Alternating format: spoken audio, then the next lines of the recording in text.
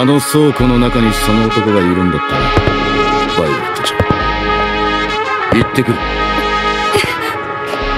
理由を聞かないの？理由？あいつを殺してほしい理由よ。理由なんていらねえさ。その涙で十分だサンジさん。待っててくれ。全て終わらせてくる俺は君のボディーガードだ。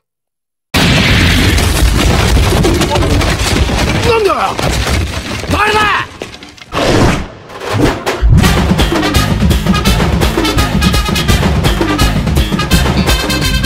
最後の一服を済ませろ。それくらいの時間はくれてやる。よふざけやがって！てめえらこ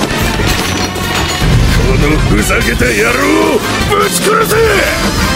ザコは引っ込んでろフランジジルトルティーテーブルキックコ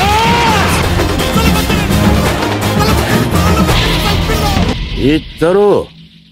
この女の命が惜しけれ動かしおくそどこだどういっておい